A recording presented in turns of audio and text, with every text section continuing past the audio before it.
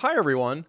Today I want to talk about something I'm not hearing anyone else discuss right now, and that is my concerns about how difficult it's going to be to actually refloat the MV Dali at the Key Bridge site. As we know, the Dali went off course following a power failure. It exited the federal channel, knocking the pier down, which caused the collapse of the Key Bridge. Now, I'm not a shipping expert, I'm not a salvage expert, but I am a geotechnical engineer, and right now, the MV Dali is stuck in the mud. And there are calculations that you can do to estimate the amount of force that it's going to require to pull the Dali out of the mud in the channel at the Key Bridge site. Now, as we know, there's still rescue and salvage operations going on to remove the bridge debris from the shipping channel. Those efforts are going to continue through the coming weeks. That bridge debris has to be removed from around the MV Dali as well as the debris that's on the bow of the ship right now, pushing it down into the mud in the channel. Now, the federal channel is 700 feet wide and 50 feet deep. And you can see from this Corps of Engineers graphic, the MV Dali drifted off course and is out of the federal channel for the most part. If you look at the footprint of the Dali, most of it's out of the federal channel at this point, with the bow of the ship the farthest out of the channel. Now here's a sonar image released by the U.S. Navy, and it shows the MV Dali. The lighter yellow color is below the waterline and the red's above the waterline. So you can see the current draft of the ship maybe on the order of 30, 35 feet right now. And you can see that a significant portion of the ship's hull is in contact with the muddy sediments of the Patapsco River. Now, I presume the mud consists of silty clay based on the soils that are in that area, as opposed to, say, a predominantly sandy sediment. I'm going to go through the methodology for calculating the force that's going to be required to pull this ship back into the federal channel. So this isn't unlike the situation that happened in March of 2021 at the Suez Canal in Egypt, where the Ever Given became stuck in the channel both at the bow and stern sides of the cargo ship. Overall, the Ever Given blocked the Suez Canal for a full one week period, and the actual refloating operation took about two to three days in total. So, for a quick overview on how they refloated the Ever Given in Egypt, they dredged the sediment around the hull of the ship, and in this case, it was predominantly sandy soil. They used excavators to remove material from around the hull of the ship. And they tried a couple different things with uh, towboats to try and get the ship moved back into the main channel. Those initial efforts were not successful, but here's an animation showing you what they ended up doing. They've got four smaller tugs on the side of the ship, two larger ones pulling at the stern, and a, another two large tugboats that will be pulling at the bow of the ship. To basically pivot the Ever Given about its axis so it's aligned in the main portion of the channel. And as I mentioned, this was the effort that was ultimately successful when they did it at a time coinciding with high tide.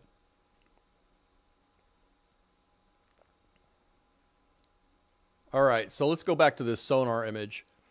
We know that the overall length of the Dali is about 978 feet. So looking at this sonar image, I would estimate an approximate 200 foot length of the hole that's in contact with the sediment at the bottom of the channel. And based on descriptions from di diving operations, these divers typically can't see the hand in front of their face. So it sounds like there's a lot of turbidity, very soft sediment at the base of the channel. And looking at those earlier images, we know the Dali's width or beam is about 158 feet. So conservatively, if I estimate that perhaps half of the ship's width is in contact with the mud, and that could be well on the low side, but let's just take a contact area of the ship's hull with the mud over an area of say 200 feet by 75 feet. And you can actually perform a calculation to determine the amount of force that's required to move an object relative to surrounding clay soils. This is done all the time to determine pile capacity for land based structures, ocean based structures. In fact, the American Petroleum Institute has this method for determining the capacity on a pile in clay. It's called the alpha method.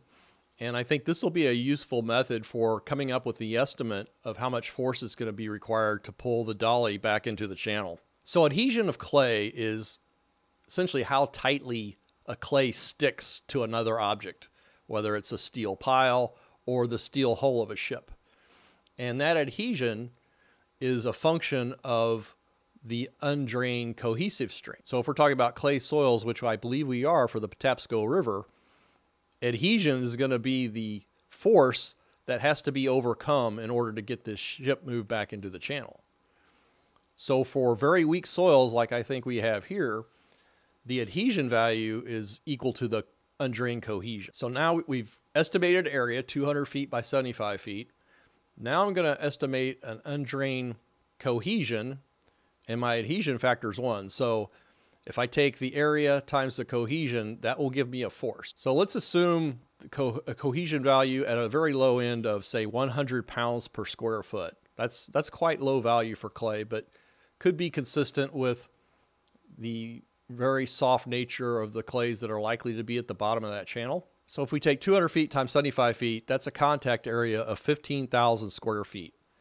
If I multiply that by my cohesion of 100 and divide that by 2,000 to get tons force, I'm looking at roughly 750 tons of force required to overcome the adhesion at the base of the hull. So I made some simplifying assumptions. One of them is that the ship isn't being pulled into a giant pile of soil at the stern, which I think is the direction they're going to be moving the ship into. Uh, so I'm, I'm just going to neglect that for simplicity at this point. I'm also going to neglect suction.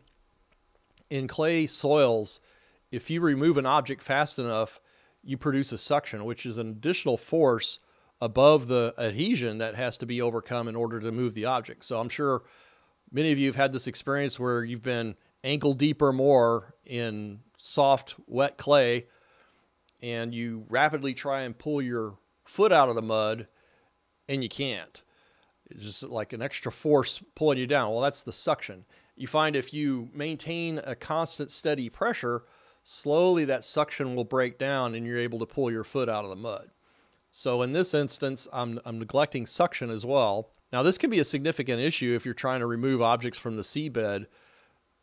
There were multiple episodes of submarine incidents in the 1960s where someone was concerned about what would happen if their sub touched bottom or if a sub had touched bottom and there was some disaster, how much force would it take to extract the submarine from the seabed. And so the government actually funded this study looking at this very question in the late 1960s. From what I understand, there are sub submarines that are designed such that they can touch the seabed and others that can't and, and never will unless there's some kind of accident. And this principle of suction of an object on the seabed has been put to good use in the last few decades uh, suction piles or suction cans, as they're sometimes called, are routinely used in offshore oil production rolls. And in this case, you lower the foundation. It consists of multiple, basically giant pipe piles. They're open on the bottom and they'll sink into the soft seabed. And oftentimes there's some extra pumping at the top of the pile. The top is, is sealed and the and the pile penetrates in, into the seabed, and then there's uh, legs or cables that are attached to the top of the pile and tethered to the object that they're trying to moor in the in the ocean. And as these cables or legs have waves or other upward pulling loads, a suction force quickly develops and provides additional resistance for the foundation on these structures. So let's go back to the Dali. I think their efforts are going to be further complicated by the geometry of everything that's around it. So, as we know, the remnants of the pier between spans 16 and 17 are still there up against one side of the Dali. The salvage efforts have included removing some of the shipping containers. From what I understand, there's roughly 4,700 shipping containers on the Dali right now, and they're planning on removing perhaps 170. That doesn't sound like a lot given the overall total, but uh, we'll we'll see how much rebound occurs. Right now, the Dali's listing, and the the bow of the ship is pushed downwards under the weight of the overlying debris on its bow. Let's look at this image here of the geometry that we have here. So the, the stern of the ship is facing upstream, the bow's pointing more or less downstream. You had these small dolphins that are located in front of the piers at the main span. I don't think this dolphin was even contacted by the Dali. It's so far upstream. But you can see here, I, I think what's going to happen, let's imagine that this bridge debris is removed from the bow of the ship the Dali's going to have to be pulled back into the channel. It's going to have to be pushed from the front, pulled in the back, and it's going to be challenging to be able to rotate the ship very much by having tugs on the side because once the Dali rotates just a little bit, it's going to be impacting this upstream dolphin. So I think it's going to be quite the tricky operation here. So going back to the computation of 750 tons force required to overcome the adhesion.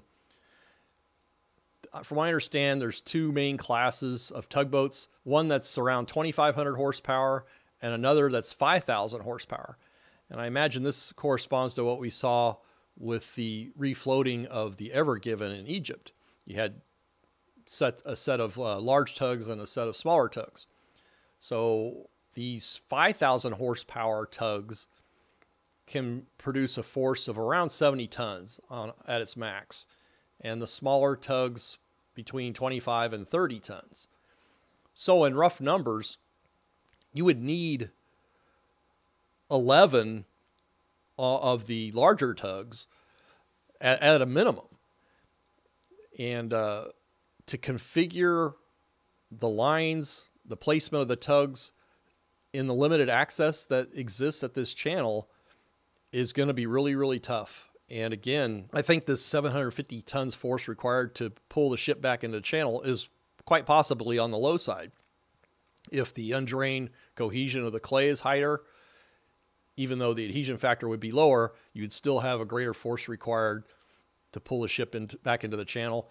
If the contact area was greater than what I've estimated for this simple calculation, then again, the force is going to go up considerably. I've also neglected the forces required to overcome a pile of material at either end of the ship as the ship moves into that material. So I imagine there's going to be some dredging going on to remove that material so that that's not an extra force required to be overcome. Uh, it, it limits the amount of suction that can develop as the ship's being moved back into the main channel. I also think it may be necessary to demolish what's left of that pier between spans 16 and 17 to give the Dali more room to rotate back into the channel. So I'd be curious what you all think about this. Again, it's not anything that I'm hearing in the media right now about, hey, can this salvage operation, once it's complete, lead to a successful refloating operation?